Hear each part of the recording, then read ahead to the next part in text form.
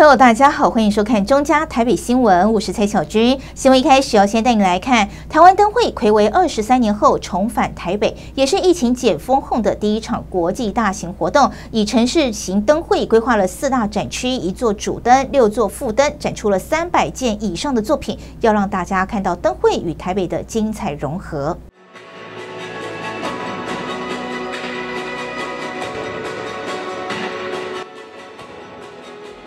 在盆地中的家家户户点起希望的灯火，凝聚成巨大的希望光球，冉冉升空，绽放出温暖和煦之光，渲染整座城市的美好。二零二三台湾灯会在台北举办，串联国父纪念馆、市政府东区、松山文创园区、新一区等城市空间，范围达一百六十八公顷，展出三百件以上精彩作品。我们台湾灯会终于再度回到台北。啊，那么在过去三十三年，我们台湾灯会经由各方面共同的努力，已经成为世界上非常重要的一个灯会。那有国外的媒体形容它是这个没有云霄飞车的迪士尼乐园。那去年在日本也获得这个所谓世界十大这个夜景的遗产。哦，所以这个灯会的这个国际的行销、国际的知名度，可以讲一年比一年提高。那这一次回到台北呢，我个人是非常的诶感动哦，因为我记得我第一次看灯会的时候就在中这个中正纪念堂，然后那时候可以讲是我们诶全台湾的一个大事。那我记得那时候。所有办公室的同事下了班就挤去那里领小提灯，然后看灯会，还可以拜拜等等。那一晃眼已经三十多年过去了。那这一次跟台北市政府的合作，我感觉到非常的荣幸哦，因为大家可以看到哈，我们过去半年多以来，台北市政府的团队跟我们在不管是每一次的会议，每一次的投入，都非常的紧密。啊，我也相信这一次的灯会。它的表现可以超越以往的这个灯会，有更亮眼的演出。那十月十三就要重启国际跨境旅游。那我上个礼拜也刚到日本去推广，参加东京旅游展。那可以看得到非常多的日本的友人哈，或者是当地的业者，都非常的期待能够再度来到这个台湾来旅游。那这个灯会就是我们跨境旅游重启之后的一个最大型的一个观光活动。那么也期盼这一次的不管是参观的人人次也好，国际旅客数也好，观光产值都能够更胜以往。这个二零二三哦，台湾灯会在台北哦，它有两个主要的意义了。第一个是从二零零一年哦。到外县市去以后，流浪了二十三年哦，再一次回到台北的第一点。第二点，这个是台湾在 COVID-19 边境解封之后第一个大型的哦这种国际游的活动。那整个台湾的旅游业哦，万店啊哦，各种这种观光相关的产业，我想对这个都相当期待。因为这个办得好，办得坏哦，通常会也很影响后面很多的活动。那么这一次的活动，它的一个特色就是说，过去办台湾灯会哦，在其他县市里的哦，他就找一个几公顷的空地哦，就在上面办。可是台北市要找那个几公顷的空地哦来做，我们想了半天，你知道哦，找不到，所以干脆哦逆势而行。我们来办一个叫城市型的灯会，那所以我们有一个主灯嘛，哈，六个副灯，大概三百件的大的作品哦，然后要分布在四个展区，大概可以达到一百六十八公顷。那我们在办台湾灯会的时候哦，心中有一个很大的目的，要做振兴产业之用。我想几天前在士林办那个白昼之夜了，当然。还是会有人批评的，动线规划不佳，但是，但是我跟你讲哦，士林商圈，高兴死了。一个晚上四十六万人，从来就没那个备料都备到那那根本就没办法来不及买。那所以这是一个边境解封之后台湾第一个大型的国际活动，我们在想说利用这个机会哦，把这个东区的商圈整个要给它搭上来，这是很大的战略目标。那所以我们四个展区啊，一个是沿着忠孝东路，就台北的东区，哦，还有国务纪念馆。还有松烟的哈，还有一个是 我们信义商圈的，包括一零一跟四四南村的，所以它集中在台北市的这个东半部，那个 L 型的这样。那当然这个规划哈，们不同于以往，因为我们这个是差不多一年多前就确定台北要接办，所以我们已经准备很久了。我也认为大型活动哦，不要到前几个月才。临时去凑一凑，这样看起来就是我们常常看到就是热闹有余，但是它没有战略。那所以事实上这几年的执政，你知道哈，像那个台北灯节在西门町哦，就让西门町繁荣了好几年。这个要不是这个疫情，你知道你去西门町看，那个日韩客，你知道，连那个计程车都是要讲日语，都那个招牌都写日语跟韩语的。那 不管怎么样，你知道，我们希望这次的灯会啊。二十三年后重新再回到台北，然后它是边境解封后的哦，台湾第一个大型的国际展、国国际活动，然后它又是一个不同于以往其他县市，它是一个以城市型的灯会来举办，然后我们又给他一个任务，你知道吗？我们希望他可以复兴整个东区的商圈，哦，然后再扩展到 松烟跟信义商圈的这种目的。那至于那些细节哦，已经。规划了一年了啦，如果这个大概每个月都在都在都都规定的会议在开，我认为准备是还还不错的，连那个最困难的缺点都已经多花了八千万解决了。请指导，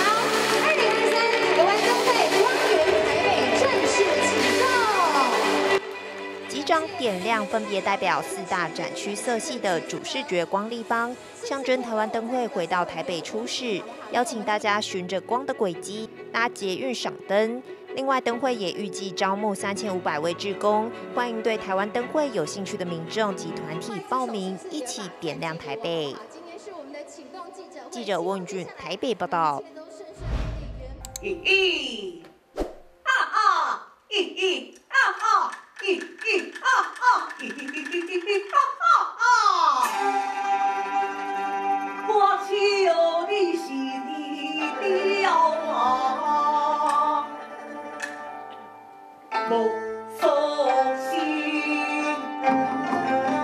歌仔客家乱弹京剧豫剧五个剧种，来自全台十二个剧团新秀们轮番上阵，带来精彩片段演出。迈入第六届的台湾戏曲中心成功新秀舞台，有别于以往策展人邀演形式，今年改为公开甄选加策展人邀演双轨制，兼顾剧种、剧目以及剧团的多样性与广度，带来二十二场新老并成、雅俗共享的精彩节目。那因为成功新秀舞台，等你你参加这个演出，等于就好像拿到了一张是业界的品质保证的那种认可证书一样，所以很多的团队或新秀，其实也透过各种管道表达他们很想参演的决心，可是因为过去都是邀演，所以常常就只能够觉得非常的遗憾。好，那今年也是非常感谢中心，我们就开放了这样一个方式，除了邀演之外。我们有公开送件甄选的部分，让团队主动去挑选他认为适合的优秀的这个新秀演员。啊，经过评审委员的遴选之后，所以我们今年明华园戏剧总团跟一心戏剧团都是第一次参参与这个新秀舞台的演出，非常的欢迎。好，那除了我们这个入选团队的这个方式有所改变之外，我们今年在演出上。也做了一点小小的挑战，就是过去都是不同剧种上下半场混搭的演出，那今年特别安排了两场的专场，一个是明华园戏剧总团，一个是当代传奇剧场，一个寡喜，一个京剧。好，那我特别安排他们在第一周跟第三周的礼拜四，就是十月二十号跟十一月十号，我们就是从头到尾，哎，整个热闹滚滚的，继续维系这个活动的热力。那这个专场演出，他就这个主这个专场的主演，他要负责一整场的演出，那个责任那个负担又是更大了。好，那我们今年呢，为了也要顾及到这个剧种的平衡，所以刚刚主任也说了，我们有五个五个剧种参加，啊，有豫剧，有客家戏，有乱弹戏，还有京剧跟瓜戏。那我们在邀演或者是遴选的时候，也考虑过，呃，不只是剧种而已，我们还考虑到行当的分配是不是齐全，所以我们的戏是生旦净丑通通都有，戏文呢是文戏武戏都要出来，有的戏是经典的老戏，也有新编的传承，这个都 OK，只要是新秀能够好好展现技艺，我们都不设太高的门槛，所以。在年龄上，好像过去有一个所谓的天花板，哎，有些演员也觉得很遗憾，很想参加，可是被那个天花板顶到了，过不去。好，那我们今年也就偷偷的放宽了一点，所以我们有有非常非常年轻的，现在还在学院大学部念书的二十岁的小朋友，也有戏曲学院以前叫复兴剧校鸽子戏科第一届的毕业生，快三十年前了哈，所以这个 range 蛮大的。就是我们不希望有任何的遗珠，在外头真的是流浪江湖。哎，只要是好的演员、好的角儿，我们都希望他被看见。呃，非常感谢呃我们传统艺术中心呃每年举办的这个新秀，就是成功新秀舞台。那这一次呢，我们参与的剧码呢，他们有个在戏团闪耀青年团参与的剧码是由杜建伟跟李佳还有朱念伟他们演出《金兰艺》。那这摆呢，其实伫咧无共款的剧种里面，大家跨界共同演出，我感觉对少年人来讲是一个真好的机会，会当互因多多观摩，甲多多学习。这边当然王金明老。师跟小咪老师，因嘛是赶快有推出由张敏君他们所演出的这个被拆七啦。所以呢，咱两个看到虽然赶快是歌戏，但是伊无赶快的风格呈现，所以对着少年人来讲是一个真好磨练的舞台。小明老师最那所谓修行三回，嗯，吼，诶，真高难度哦，啊，所以民警嘛真认真，希望讲大家会当做到剧场，啊，大家来个再信心，加油。对，因为尤其伫咧即马歌戏即个电影顶面吼，初级的部分就是男生扮演的，诶，这个戏码已经愈来愈少啊。所以这次呢，由这个杜建伟跟李佳他们所演出的这个《金兰义》，精彩可期，还有这个《被拆七啦，吼。那希望各位观众朋友走进剧场，用咱的行动来支持这些少年人，吼，因这个机会。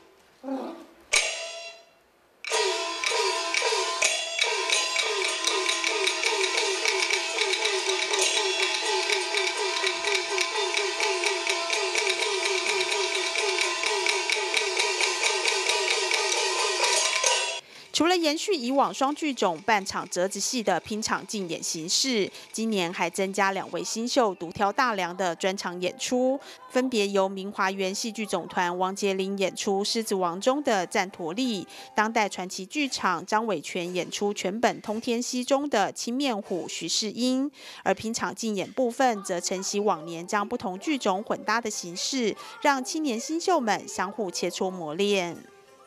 我们在传艺中心有开枝散叶的计划。这开枝散叶计划呢，就是帮助呢这个新秀，帮助这些年轻人呢，他们呢进团入团演训，然后呢进到团里面，跟大师们直接接近大师，靠近大师，直接在他身上学，在他的日常的生活言行举止中学习，以及呢技艺的学习。另外呢，我们还有呢所谓，如果您在这边毕业了，哈结业了。我们还有所谓的青年入团，我们希望呢，完成呢大家在呃职业生涯上最后一里路，我们可以帮助这些年轻人，他从入团受过呃很很长久的训练，然后呢再到呢青年的入团，成为终身的职志。好，那在这个整个过程当中呢，传艺中心会提供新秀舞台，让各位新秀呢担任主角。然后呢，他的演技除了传承师给予的技艺演法之外，他还必须用自己的呃悟性啊，以及呢自己的对戏的前演绎方式呢，再增添自己的精彩。所以呢，这个呃小舞台的这个新秀舞台是属于所有年轻人，也是属于所有老师跟团长的。十二档二十二场诚意十足的精彩好戏，将于十月二十日起至十一月十三日，在台湾戏曲中心小表演厅演出。欢迎喜爱传统戏曲的观众朋友前往欣赏，为戏曲新秀们加油喝彩。记者林希慧台北报道。台湾新文化运动纪念馆举办新文化运动月，今年以新剧登台、文化大拼场为主题。除了推出特展“新时代大登台”，还规划了市集、论坛、戏剧导览等多元的体验，带领民众了解台湾新文化运动的精神与内涵。您知影新剧拢在创啥？新剧哦。你嘛嘛拢知影新剧在创啥吗？啊无，咱听看卖，你要讲啥？一九二零年代，海外求学的台湾知识分子接触了日本近代戏剧运动以及当时中国新剧，并将近代剧的演出方式引入台湾。而当时知识分子，特别是文协成员，更借由新剧传达改革理念。台湾新文化运动纪念馆举办新文化运动月，以新剧登台、文化大撤拼为主题。除了推出特展《新时代大登台》，还规划了市集、论坛、戏剧导览、Podcast 等多元体验，带领民众了解台湾新文化运动的精神与内涵。我们在这边定义的这个新剧的话，是指那个一九二零年代开始哦，呃。不同于旧的传统戏曲的形式进来台湾之后所发展出来的戏剧，所以呃，我们我我们把新剧把它定义为非所有非传统戏曲的戏剧都称为新剧，所以我们比较知道的文化剧或者称为文化戏，或者说有人说呃文明戏啊，或者说呃文事剧啊。那以后来甚至后来的黄明化戏剧，我们都把它称为是新剧。那呃，我们这个展览主要就是在谈台湾人的戏剧，所以呢，呃，我们不会去谈黄明化时期的新剧，主要就是一九二零年代、一九三零年代的戏剧。除了我们特展开了以外，第一周、第二周，首先上场的就是我们的论坛活动。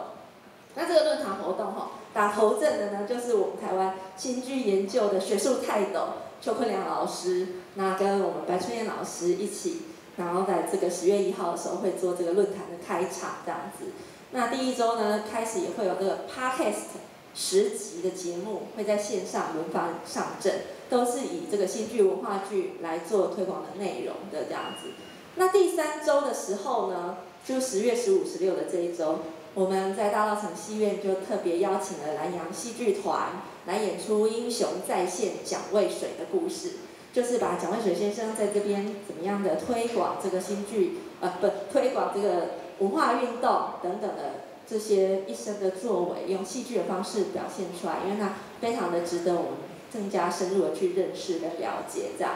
那同时呢，我们在十月第三周也跟大稻城国际艺术节合作哦。我们一起在街区办理了这个变装的音乐会市集，那希望大家呢都可以跟我们在那个时候回到一九二零年代，然后呢也可以跟大家一起，就是大家存在地的店家，我们今天有很多的店家都跟我们一起联名哦，推出了新文化运动月的限定商品，那大家呢去逛这个街区的时候，都可以同步的用商品来诉说这样子的故事，这样子好。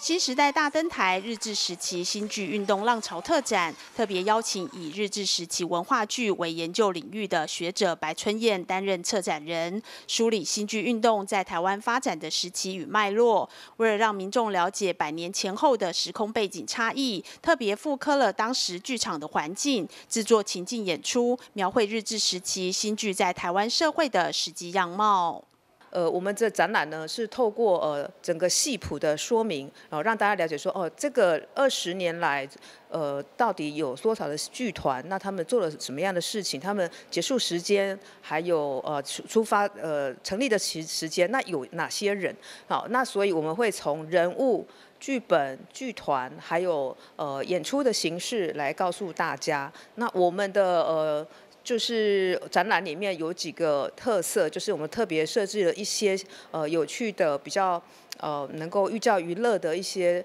呃装置哈，让大家才不会呃看文字看到睡着。所以呢，呃，尤其我们设置了一个叫做文化剧的情境剧场，呃，我们是用呃就是有呃荧幕的演出，然后也有那个就是发出声音，有有那个警察大人，那也有观众在下面，他们会发出声音，然后来跟那个影片里面的人物做对话。那这个是可以呃体现的是当时文化剧演出的状况，呃，那呃那个状况是什么样的状况哈？那其实就是一个不太熟练的状况，就是演的不太好，哦，所以呢，我我们如果被问到说，那日本日本时代的新剧跟现在的舞台剧到底有什么差别哈？我们通常我们会说他们蛮像舞台剧，可是又不太像，呃。在于哪里不一样？就是呃有几点哈。那首先有一点就是演员不够专业的问题哈。嗯，因为他们都是素人，他们都是呃事实上都是社会文化运动者哈。他们在意的是宣传，而不是戏剧演出。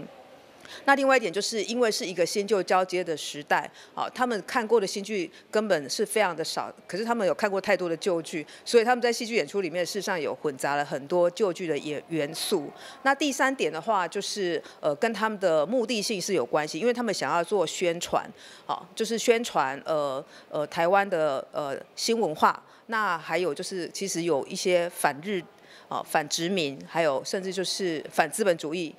那那个宣传呃无产阶级主义都有这样的思想。那我们在这个情境剧场之外呢，还有设置了一些呃互动的装置，比如说呃，因为当时的新剧进入了呃台湾之后，是会跟旧剧产生冲突的，哦，因为它反对旧文化，包含旧剧在里面，尤其是歌仔戏，所以呢，呃呃。呃，新文化运动者他们用新剧，还有就是说思想宣传来反对歌仔戏，反对旧剧。好，那可是呢，呃，事实上，呃，这个他们的理想层面的理。理念还有他们的浪漫哈理想是很值得崇敬的，但是呢，呃，也是基于他们的不够专业性，还有政府的打压，事实上是没有办法去呃动摇我们台湾传统戏曲的根基。那所以呢，我们这场展览呢，我们不是一味在说哦新剧运动者是多样多么好，那他的光环是多么大，我们不是在讲这件事情，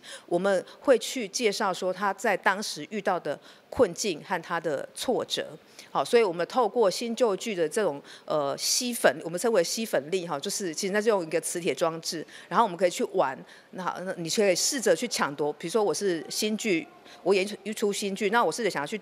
抢夺对面的那个旧剧的观众，可是抢了半天，你抢了很久，可是你结局就是你还是没有抢赢他。我们要讲的是这个呃历史的现实。那还有就是我们呃剧本的介绍的部分，因为剧本看字实在很辛苦哈，所以我们有请那个。呃，专门的演员哈，竹生哥哈，他帮我们录制，呃，就是一小段，就是五六个剧本的那个念读剧装置。那你就是拿起话筒就可以听，哦，当时的剧本是什么样子的一个故事。然后最后呢，我们还设置了一个所谓的戏剧人生的大地游戏。那这个大地游戏其实就是一个选择题，就是你是一个工学校毕业的呃青年，你可能会选择你要呃。呃，进入职场，那你也可能选择呃，就是继续读书，但是你。因为怀有怀抱有怀抱对台湾好的这样的情感，所以就会很自然的呃进入了呃这样子的社会运动的场域。那你可能就会选择你要演出戏剧。那有的人他是他是真的很爱戏剧，可是他不愿意从事这种比较危险的社会运动。那也有这样的一一一些人哈，所以他会有一些呃岔路口来问我们的民众说：那你这时候你会怎么选择？那走到后来呢，就会有呃七个不同的人生哈。那这个。主要是带有，我们会告诉你说，你这里你的选择最后就是就像某一个呃剧团哈，比如说啊，你这个就像那个张伟显的剧团哈，你是艺术坚持派。哦，因为你非常的坚持坚持艺术，呃，所以呢，那你是走了这样一一条路。那有的人可能会像呃周天启，就是彰化的鼎新社。那周天启他们的话，就是因为他们非常的激进，所以他们很早就剧团结束，大概是这样子，就让呃民众是透过。透过游戏，然后让自己哎得到了一个好像我可能会有点像他。那接下来就是会去读哎这个剧团，然后这个人物他有什么样的故事，就引发他比较浓厚的呃了解的兴趣。新剧登台文化大车拼相关活动资讯，可上活动官网或台湾新文化运动纪念馆粉丝专业查询，邀请民众一同参与，认识台湾这片土地的历史与文化。记者林奇慧台北报道。Home Plus 中加宽屏在地影像培利与证件计划开始喽！即日起到十二月十五号为止，丰富奖励等你来拿。详情请洽中加新闻 FB 粉丝团或扫描证件简章 QR code。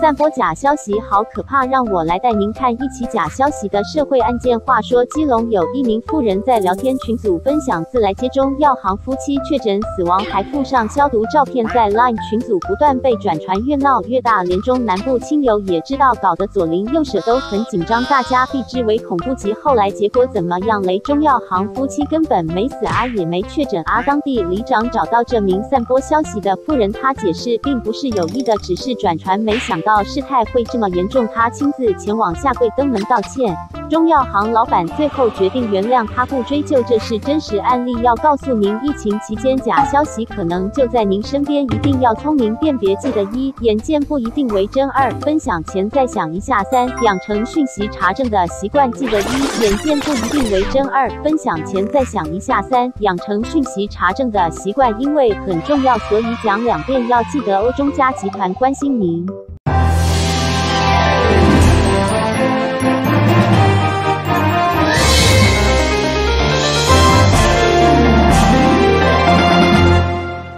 超级悠游卡上市，搭配手机加值功能，让民众体验随时随地加值的便利性，同时也将单笔消费上限从一千五百元提高到一万元，让悠游卡引领各式各样的消费场域。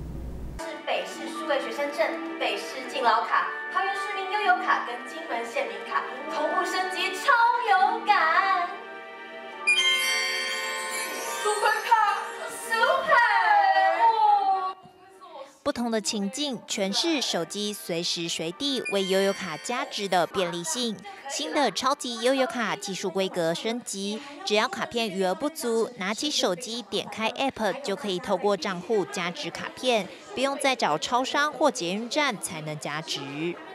好，那事实上卡片升级要比大家想的要困难很多，因为悠游卡在全台湾有二十三万个支付点，所以在过去疫情的三年，我们就默默的。呃，开始来赶这些机器，准备要为我们的新一代悠游卡来来上市来做准备。所以，我们过去三年除了忙数位支付，还在忙这张超级悠游卡哈。那大家都知道，行动支付这几年虽然快速的崛起，那报告虽然显示说，哎，台湾有一千万人用过呃行动支付，但是过去三年虽然有疫情，我们自己在内部看，有在用悠游卡的每一年还有两千万张卡。好，那这两千万张怎么用呢？有八百张，大概就只用在交通，好，因为疫情的关系少了一点，以前更多。那有一千两百万张，它同时会用消费，用那个交通。好，那我自己在估计，其实全台湾到现在还有一千六百万人在用悠游卡，所以这张超级悠游卡是我们对这一千六百万客户的承诺。更更好的服务，好，我们不断的在发展数位的过程，虽然有新产品现在开出来，像悠悠付，我们也没有忘记卡片，我们要持续研发卡片，我们希望台湾的无现金支付永远都有多一个选择，你不用买高阶手机，你也不会，你也不需要操作很复杂的 APP，你永远还是可以用一张卡片加入无现金的行列，好，所以这支超超级悠游卡结合了卡片所有的好处，轻薄简便。然后呢，也不用连线，好，然后单价非常低，好，然后呢加上这几年来手机快速啊发展起来的科技，好，所以我们让超级悠游卡这样手机读卡机变成我们一卡一付，继上市悠游付可以自动加值以后的第二个里程碑，好，那那这样一卡一付加起来，我自己觉得啊，这张超级悠游卡是悠游卡有史以来最 CP 值最高最高的一张一个商品。怎么说呢？你买一张卡片就送你一个读卡机，无价后卡可以带机哦。好，而且那个读卡机是你专属的，哈，就在你的手机上。那大家就问说，哎，那手机读卡机现在可以查余额，可以加值，那可以买一二八零，就这样吗？当然不是哈。你可以想象看，以后市长走出门带一只手机，大家手机那个卡片靠上去，他就可以发红包给你们了。好，甚至在学校的园优惠，你只要有一只有一只手机在这边，所有的门票、入场券，甚至月票。都可以靠卡就可以完成，未来我们甚至有机会让很简便的线上消费跟线上支付在手机上可以就可以完成。好，那这个是未来手机读卡机可以带来更多更有趣的一个实际的应用。悠游卡以往也被用来当做小额消费的支付工具，超级悠游卡则调高单笔消费可到一万元，因应各式各样的消费场域。那么这几年来的是发展，你知道吗？本来说一卡一通一路，那能不能把它变到一机，一只手机就解决掉？那 这个手机里面哦，内建悠游卡，Enjoy 也可以，可以做到，可是 iPhone 就不行。那跟人家斗了两个，他还是不答应。我知道，因为 i iPhone 他们要自己花他 Apple Pay，那他他自己都要赚这个生意，他为什么要给你赚？那所以在想说怎么造过去，啊，一卡一通一户，啊，合到一机，那 Enjoy 可以，iPhone 不行，可是 iPhone 市占率又是比较高，七成。那我想，那那不然就这样，把那卡直接贴在手机的手机壳上面，那。好像也可以，但是有个问题要解决。那那你要手机可以直接对这个卡价值。那所以事实上，一般处理问题哦，有几个原则。一个是啊，现在遇到的哪些问题记起来，第一点。第二点，那那如果我们还有想还要想要去花开展怎么样新功能把它记起来，然后开始说，哎，我们要怎么设计一个系统来解决问题？首先讲了现现存的问题啊，这个悠游卡一年大概使用是六百亿。其中有四百亿是用现金去加值，所以我们看看那很多捷运捷运站里面都有一个加值机嘛。以前我就是这样啊，悠游卡用完了，那就去找一个捷运站，一个加值机，把卡放上去，然后用现金去加值。那这样就遇到一个问题了，那那如果万一钱用完了又没有办法加值怎么办？还有一点呢，每次钱快要用完了，就一定要去去那捷运站去找那个加值机，这麻烦呢。那事实上，这个在台湾现在是四百亿，每人用现金去加值又达四百亿，所以这个就很很 low 的方法。那另外，那所以现在如果 手机跟卡，现在手机可以直接对卡加值，靠过来直接加值。那另外这个手机上也可以绑定悠游卡，可以远远端加值。那远端加值的话，但是我们现在还是有控制说，远端加值一定要直属关系才可以，你不能说。随便找一个跟你不相干的来跟你，那段跟你远端加值。所以现在如果是 如果是绑定的话，你知道，原则上是要经济关系的这个直系的嘛。啊啊，当然如果你是直接加值，那个就没有问题，那个那个随便一张卡都可以。那那那现在现在如果，i 那个 iPhone 你知道，手机可以直接对着卡加值以后，我还可以远。其实本来想说，如果远端加值。我在学校都设一个价值机，让他我远端价值有，他到学校 B 站也可以。但是后来想一想，因为台北市身边的人太多了，大概不用。身边的人他自己要就要建构那硬体。这个东西哦，预计会大卖。你知道为什么吗？因为现在每个小朋友要上学的时候，好就给他妈妈，先今天零用钱给你五十块，然后刷卡靠卡 B 五十块给你回去。他如果如果他因为他是儿子的话，或是父母亲，这个不用靠开的，他远端就可以加值。反正他他跟他他知道他会加值，他随随便找到随便那本加都可以。那为什么这一定会大卖？因为每个父母都很想知道他儿子钱花到哪去。所以所以当那个当那个那个他他给他儿子加值的，他儿子拿那一张去哪里买东西，他母亲晚上就可以 check 他买了什么东西。所以这个我预期在小学就大卖。这个台北市的这个我们的数位学员证啊，谢谢优卡公司长期的协助了哈。现在至少有二十七万张哈，二十七万张。那因为市长在政策面是推这个一卡一付一通，这是一个政策的工具哈。那台北通是一个身份哈，这个一个爱店的点入口哈。那这个一卡一付啊，哈，我想作为我们这个交易的很重要的工具哈。那台北市呢，我们这这个数位学生证现在目前是号称是一点五代的哈。那目前就是结合哈，我们在二零二零年我们推出校园的无现金的这样系统缴费的系统。那目前呢，我们上个学年度哦，就是因为现在新的还在继续交哦，我们大概这个无现金的交易已经达到近六成。那我们新的学年度，我我觉得有信心应该可以超超过七成到八成哦。我们主管科的科长在这边一直很紧张，那这个要有信心的哈。那同时呢，今年的八月呢，我们幼儿公司又把校园的这个幼儿户做一个做一个连接哈，所以那只要通过亲身的绑定哈，那就可以这个爸爸妈妈的手机啊，通过幼儿户 app 这样就是孩子的家子机啊哈。那目前呢，大概我们这个亲子绑定哈，呃，我们已经达到八成哈，有八成哈。啊，二十万多人次来参与哦！当然，我们希望要达到百分之一百的哈。那这个小学的是最多的哈，谢谢那东门国小、像小，他们这个绑定的比例哈，大概是最高，然后越大就越低哈。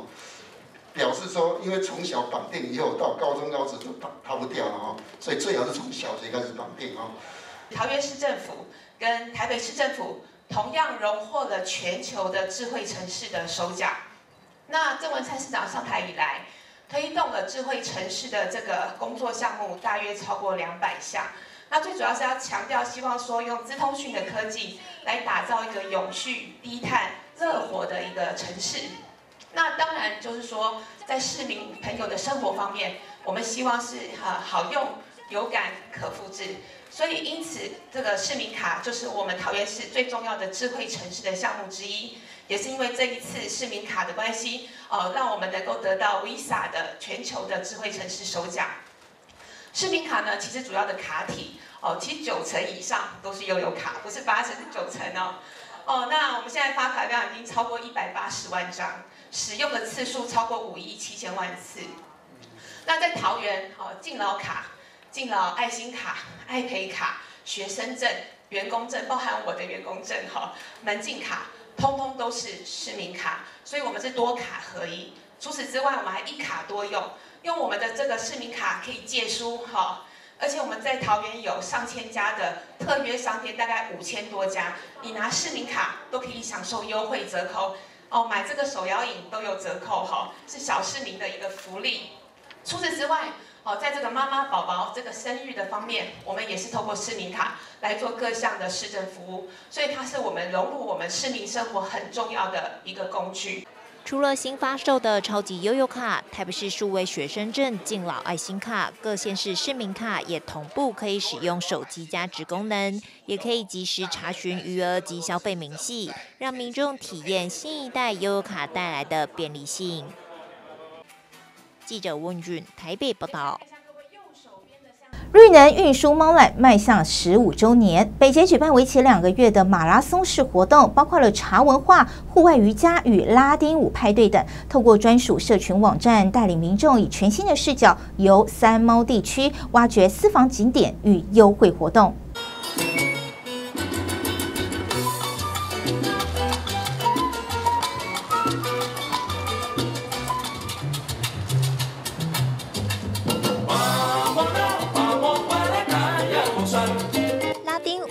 舞蹈派对热力四射，还有猫空可爱角色伴游。台北捷运公司举办为期两个月的庆祝猫空缆车十五周年活动，包括露天茶席、户外双人瑜伽及拉丁舞派对，也开始营运三猫吃喝玩乐的社群网站，欢迎民众来挖掘三猫地区的私房景点与优惠。其实缆车基本上也就是三部曲啊，第一个，你要向社会大众说明我们这个系统是安全。的，第二个，我们要在这个安全基础下，如何确保我们很稳定，哦，非常的这个可靠的来，哦，这个负责营运。第三个阶段呢，就是财务问题，就是营运的这个财务的问题了。所以我们在一百零五年，啊，这个票价也重新调整啊。那即使是这样的票价水准，在全国、全世界来讲都是非常便宜、廉价的一个，哦，这运输业。所以其实我们在疫情前啊，这个香港，啊，还有这个。日韩游客、东南，他们都非常喜欢来我们这个啊缆车来的体验这个呃这个猫空啦，体验我们缆车跟猫空的文化。好，那现在因为疫情了哈，这个疫情这个确实财务也是受到影响哈。那说实在，我们因为代超，所以我们整个能够有这么好的一个好这个交通的系统，事实上还是要感谢这个市政府哦大力的支持哦。这个我想不管是游客或者是当地的居民，有这样的一个好的系统，都是市政府默默的在支持这样的一系统的营运啊。那基于我们是一个受委托的单位，我们事实上也有一个责任，就是说让这个系统啊不止安全可靠，还要能够财务永续经营啊。所以市府我想在富密的这个指导之下，哈，这个市长支持之下，也有进行了三所谓的这个三猫二点零计划哈。那这部分我想，这个既然是一个旅游景点，而且是面向国际的话，我们必须要把亮点拿出来，啊。那我想市府一直在讲说品牌，好，猫空本身就是一个品牌，好，大家都很清楚。那现在重点就是说，怎么样那个品牌好的价值，好能够彰显出来。我们已经用这么廉价的这个交通的成本来支持这样的运输的话，好，那怎么样结合当地的这些特色？我想对这个特色大家都非常的清楚，好，包含我们指南宫，好，包含我们这个悠人神谷。好，包含我们这些茶的一些这个一些机构等等啊，民间，我想我们呃把目标确立啊，让这整个的旅游价值能够产生。我想，好，这个在未来的这个这个营运啊，尤其是猫空这样的一个旅游景点，应该好是前景可期了啊。这个猫缆十五年了，这是猫缆也是我们台北市的指标性旅游了哈。那到现在已经十五周年了，做的人已经超过三千万人次了不过十五年来也亏空的十八亿以上。哦，那这个，不过是这样的啊，这个地方还是有愿景的，因为将来环状线跟文湖线在这个地方交叉，再加上 那个安安那个安安坑的这个轻轨，再加上这个猫缆，所以这个地方是个交通要道，将来还是相当有前景的。那我们当时在想说。如果这个地方要去进一步发展，到底要怎么处理？那当时就提出一个叫“三猫计划”，猫空、猫缆跟猫熊。猫熊指的是动物园啊，那猫空有茶文化，你说那看怎么把它弄成一个台北市的一个休闲的地方？所以市场在那边到现在为止，还是有那个茶文化中心的哦，每天都有人在讲解这个 猫空的铁观音。那最后就是这个猫缆车。据我所知，这是全世界最便宜的缆车了，难怪亏损这么多。啊，不过这样的哦，要把这个地方的整个文化、那个人文呐、哈生态全部做起来以后，才能够提高它的附加价值的哦。所以事实上，这个十五周年只是给我们一个一个先暂停下来想，在想下一步要怎么发展。所以这个环状线还是要尽快完成的。那。安坑那个轻轨就看中央怎么处理。那将来这个，如果如果这个地方变成一个交通要道以后，这个交通方便了以后，如果让猫空变成一个台北市的一个更有气质的休闲文化中心了，哦，这样整套做起来，所以现在要做的事都是怎么去提高它的附加价值了，哦，所以这个就大家继续努力哈，革命尚未成功，同志仍需努力。在地里长也推荐民众好吃好玩行程，串联猫缆观光轴线。配合我们当地的一些的活动，就是在刚刚那个电视墙上面还有介绍，在十十月二十二号有一个露天的茶席的活动，呃，这个就在我们猫空上面来举办。那我们希望呢，大家有空呢，能够惜家带眷的一起来我们猫空，呃，参加这个茶席的活动。呃，同时能够坐我们在地哈，就是我们全台北市最长的缆车来上到我们猫空，呃，欢迎大家届时能够呃来参加这个茶，因为我们每年也都会有举办我们猫空自己上面的一个那个千人茶席的部分，每次盛况都很很多人参加。那这次我们希望也能够透过缆车十五周年的行销，能够再次把人带上我们猫空。全新的猫缆活动 IP 贡都拉也在这次记者会上首次亮相，五个吸睛角色以猫空知名的茶文化与生态动物为主题创作，将会在专属的 IG 及 FB 登场，带领民众一同玩猫空。记者吴宇俊台北报道。眼见一定为真吗？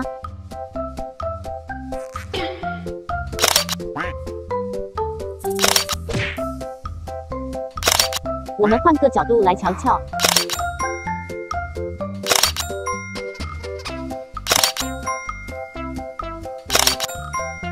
所以记住，眼见不一定为真。科技进步，人人都可以是记者、是编辑，有字有图有标题，越耸动让人印象深刻。作者可能只是太无聊来玩玩而已。另外还有照片合成技术造假就更容易，还有现在很夯的 AI 技术可以移花接木，不是他说的都会变成他说的，那该怎么办？教你简单小贴步：一、看到消息前先想一想这会不会是假的；二、养成查证讯息的习惯，看看新闻来源、作者还有日期，更要透过各种管道来查证。破解假讯息行动四步一要：不要只看标题，不要分享，不要按赞，不要惊慌，要查证，要查证，要查证。中嘉集团关心您。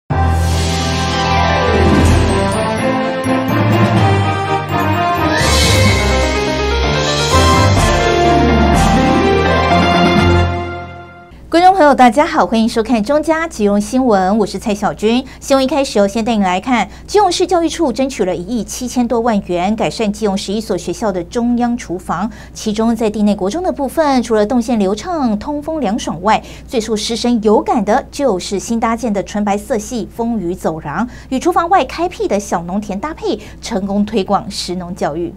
中午开饭喽！这一条师生喜欢的纯白色系风雨走廊，让学子可以风雨无阻的推餐车。我觉得新厨房很好看，然后又加加盖了学校那个厨房走廊内的遮雨棚，所以让大家去拿餐车的时候都不用淋雨了。每日的餐点也很受学生喜爱，尤其是咸酥鸡吧。我觉得学校午餐很好吃，然后。厨师阿姨、厨师阿姨都很辛苦，校厨阿姨真的很辛苦，因为要供餐给其他学校，每日要处理的食材量很大，一大早就得奋力作战。但新厨房的动线改建与硬体设备的到位更新，甚至还规划了一间有冷气的校厨休息室，让阿姨们很开心。感谢地方首长，然后学校改善那个厨房的工作环境与设备，然后多校合一，工作起来是很辛苦。可是让学生吃得开心，家长放心，那我们的辛苦也是很值得。厨房外各类香草植物茂盛茁壮，不止观赏而已，还可以入菜。食农教育要落实，老师带孩子从松土开始。目前我们设施已经就位了，哈，然后我们现在就是开始进行整地的动作。那由学生亲自参与，利用小锄头，然后把里面的小石头啊。然后工程的一些这个水泥块啊，都把它清理干净。那之后我们这个地方就会做成小菜畦，应应季节，然后进开始实施种植，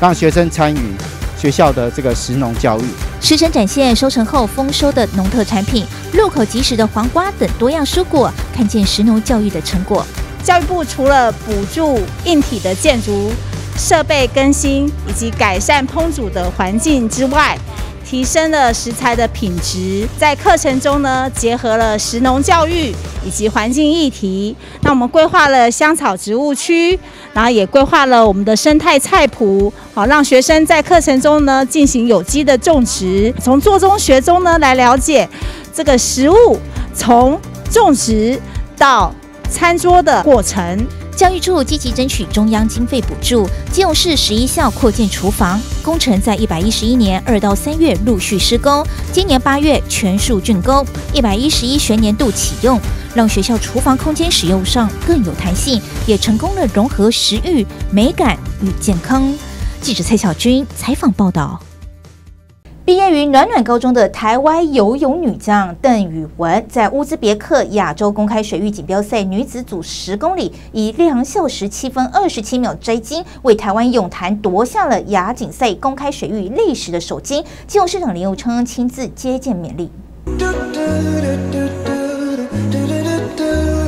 参赛选手奋力的向终点冲刺，最后台湾女将邓宇文成功摘下亚锦赛公开水域首面金牌。站在台上，开心的接受表扬。她是暖暖高中的台湾女将邓宇文，参加乌兹别克公开水域锦标赛十公里，最后以两小时七分二十七秒摘金。基隆市长林佑昌亲自接见勉励，由市长来代表，要送给你。呃，谢谢你为基隆、为台湾争光。好，然后呃，这个表我相信以后你在在游泳在比赛的时候，我相信会对你呃会更有一些帮助。就希望就是以后是体育这条路就可以有更多的选手，就是可以为国争光。对，然后希望我我的呃拿这块金牌可以就是带给更多的人呃呃勇气，或是就是对，就是可以 就是当他们的榜样。嗯。邓宇文亲自分享参赛经历，还回赠金牌战的泳帽给市长，包括父亲、教练、立委蔡思英、司议员陈怡都亲自到场见证。我觉得这是呃。基隆之光也是台湾之光哦。那宇文其实非常的优秀，呃，在之前全中运的时候，他就为基隆得到非常多的一个奖牌。那这一次呃，在乌兹别克的这一个呃开放水域的一个竞赛，我想更是不容易哦。那刚刚他也分享了在这个竞赛过程里面的一个心情，呃，我觉得就是运动员除了平常的训练之外，更重要的是那个精神力，那个精神力可以支撑。这个身体上面的这个极限，然后超越自我，然后最后去勇夺这个金牌。所以除了佩服啊他在游泳上面的一个训练，不管是他的技巧还是他的体能，呃，其实我更佩服的是语文他坚韧不拔的一个精神。我相信这也是所有运动员最宝贵。啊的一个价值，好，所以呃，我想未来他在这个呃选手或者在体育运动的这个路呃这个路程上面，或者是未来的一个呃这个人生的一个生涯上面，我相信一定会碰到更多更多的一个贵人，支继续的来支持他，让他达成更高的一个目标。谢谢市长跟其他长官一路走来的支持，然后。呃，相信他们也会继续支持我们体育，我们游泳。非常肯定语文的是，我们这一次全运会的比赛，基隆得到了三片金牌。都是语文的，都是语文拿下来的，所以非常的了不起哈。那我相信说这是基隆之光。那基隆在这个部分应该要在海洋运动，尤其在游泳这个领域，我们要多多的培植，以语文为榜样，多多培植后续的优秀选手。我相信对于基隆的城市发展过程当中，这也是基隆的一个特色。那我想今天我们的主角就是语文，我还是非常的恭喜他。市长在这几年呢是投入了相当多，比如说像我们的全运会的奖金，也从我当时当。选手的时候十二万也调高了到三十万，那其实呢，陈怡在议会呢也会呃发掘更多呃体育优秀的人才，然后跟教育处一起呢，然后报给呃我们市长指导，让呃一些资源呢能进来到我们呃各位选手的身上。邓宇文毕业于暖暖高中，国高中时期就在全国中等学校运动会拿下了十二面金牌佳绩。在二零二一年全运会，邓宇文再披基隆战袍，总计拿下了三金一铜，让全运会的成绩再创新高。记者黄少明基隆报道。欢迎回到中央新闻现场。八斗子大坪海岸最近很夯，却也衍生出生态维护及游客涉水安全等问题。当地八斗里里长及社区发展协会与基隆市野鸟学会合作，将海豹岩建模，并移到八斗子渔村中的杜家老宅百年厝来展示。哇，掌声鼓励一下！在立法人蔡思应与基隆市议员张渊祥、张浩瀚及当地八斗里里长杜建秋与基隆野鸟学会理事长郑伟等人共同揭幕下，以 3D 列印方式制作的海豹岩模型，在杜家老宅这一处百年孤老厝前正式亮相。会有这项活动，就是希望保护位于大平海岸的海豹岩，减少游客到访产生的生态破坏。大平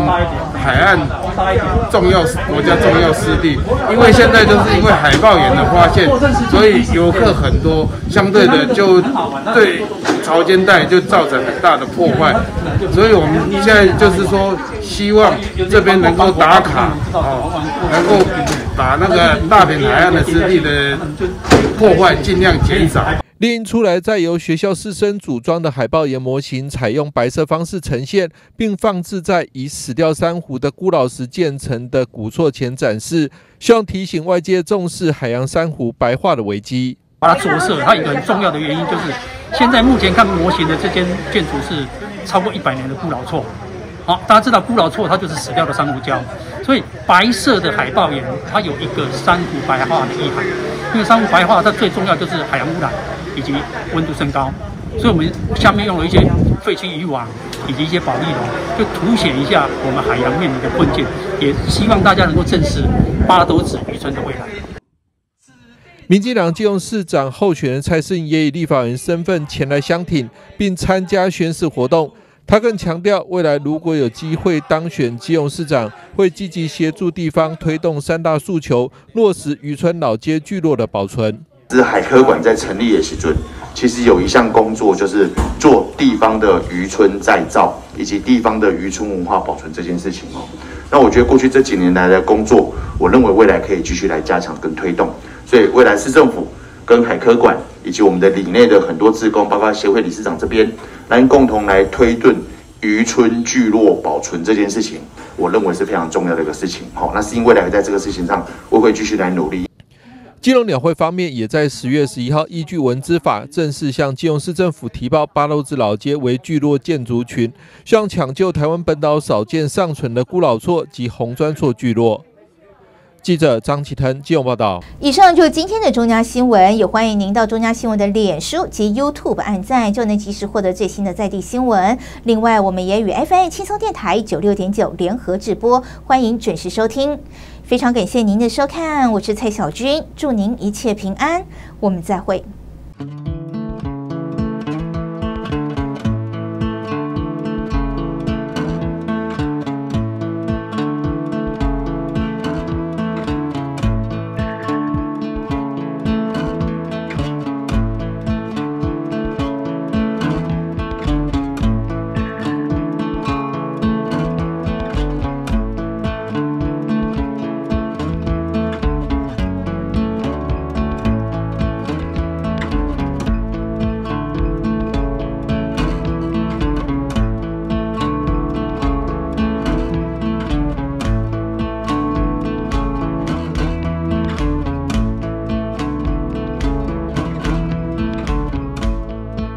播假消息好可怕，让我来带您看一起假消息的社会案件。话说，基隆有一名妇人在聊天群组分享自来接中药行夫妻确诊死亡，还附上消毒照片，在 LINE 群组不断被转传，越闹越大。连中南部亲友也知道，搞得左邻右舍都很紧张，大家避之唯恐不及。后来结果怎么样？雷中药行夫妻根本没死啊，也没确诊啊。当地里长找到这名散播消息的妇人，他解释并不是有意的，只是转传，没想到。事态会这么严重，他亲自前往下跪登门道歉。中药行老板最后决定原谅他，不追究，这是真实案例。要告诉您，疫情期间假消息可能就在您身边，一定要聪明辨别。记得一，眼见不一定为真；二，分享前再想一下；三，养成讯息查证的习惯。记得一，眼见不一定为真；二，分享前再想一下；三，养成讯息查证的习惯，因为很重要，所以讲两遍。要记得，欧中家集团关心您。随着疫情升温，假消息满天飞，到底哪个才是正确的？利用以下三个超实用 APP，简单操作，快速查证。赖讯息查证，加入赖好友，提供希望查证之讯息内容即可查证。另外还提供最新查核讯息供民众了解。台湾事实查核中心，赖搜寻台湾事实查核中心，加入好友。将收到的讯息整篇贴上，即可查询是否为假消息。My GoPen 同样加入赖好友，当您收到不明消息，直接转贴到 My GoPen，查证时可点选绿色按钮前往查证结果，也可点选橘色按钮，直接将查核结果转达给亲朋好友哦。记得收到疫情传言时，不转发，多查证。散播假讯息不仅会罚钱，还可能触犯刑责，也会造成不必要的恐慌。让我们一起对抗病毒，正向防疫。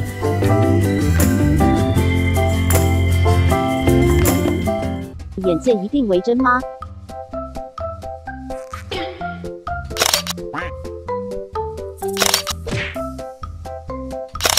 我们换个角度来瞧瞧。